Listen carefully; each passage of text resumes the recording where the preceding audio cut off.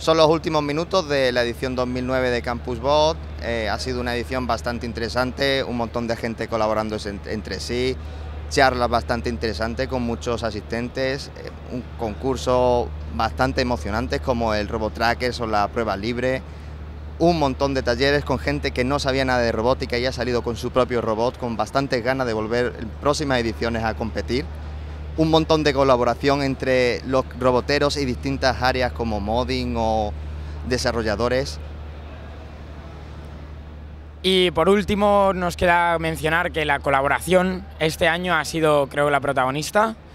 Hemos tenido un robot colaborativo hecho, empezado en, Brasil, se contó al principio cuando abrimos. Hemos tenido un montón de gente interesada en el proyecto y ahora mismo gracias a todos esos campuseros que han estado con nosotros día a día trabajando hemos conseguido que ese robot avance, que colaboremos y que entre todos aprendamos.